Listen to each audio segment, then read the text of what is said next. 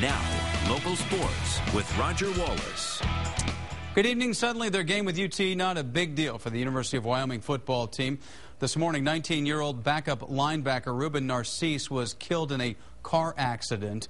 There were four Wyoming players in the car. Receiver C.J. Morgan is still in the hospital, while J.J. Quinlan and Trey Fox have been released. The driver of the car apparently fell asleep. Now, Narcisse listed on the depth chart, number four at the middle linebacker position. He did not play Saturday in their win against Southern Utah.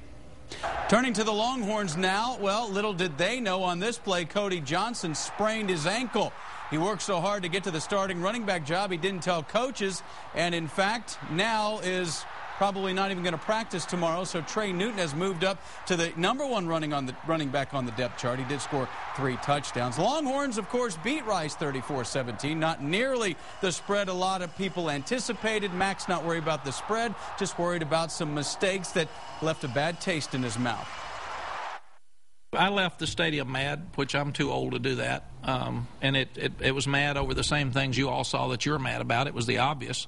And what you see is that uh, uh, most of what you did is really good. We missed opportunities all over the place, so the score wasn't what anybody wanted, which really is unimportant. The win's what's important. I got a little bit anxious before the game, and I was, you know, a little bit nervous, and I think I think that was a good thing. Um, it was something that I didn't feel all of last year, so it was good to get that feeling back going into the game. And then, um, but after that first snap, I got settled down.